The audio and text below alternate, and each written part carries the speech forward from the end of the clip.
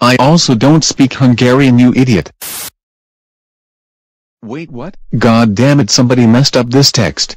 Your title here and your subtitle. What the shit? Oh yeah it's time to dance baby oh wait isn't that supposed to be like one year ago? What the heck Jack Paul, this is not time to do a yoga. Oh my god I can't take that stupid alien from the Wanda and Alien anymore because of his annoying laughs. I'm out of here. You miserable mixels! What are you doing here? God damn it we are in the wrong layout, and this is not Jack Paul TV, Jack Paul TV is supposed to be on G4P TV's channel. Wait what?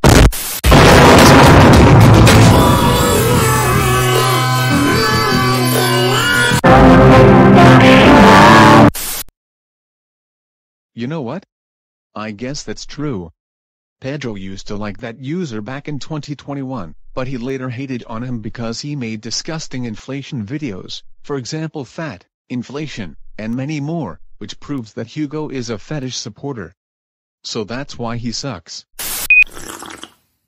Is it on? Yes it is on for the last 25 seconds you dumbass. Hey, where are you going again? Go back down right now. No god that's the wrong background, and that background is too scary, somebody please change it back to normal now. Are you kidding me? Another logo just like in Bloopers 10.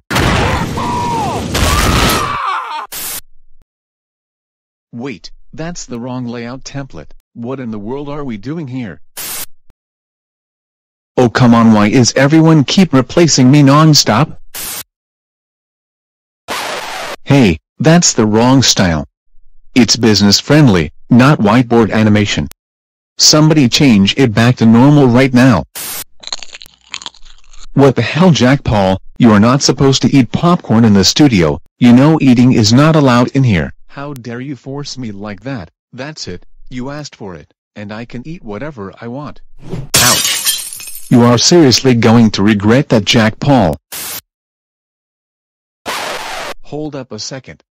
Where did my tie go? Ha ha ha ha ha ha ha ha. That's what you get for not helping me to turn off the router mode last year. Hey! Get back my tie right now, you piece of crap. What the heck?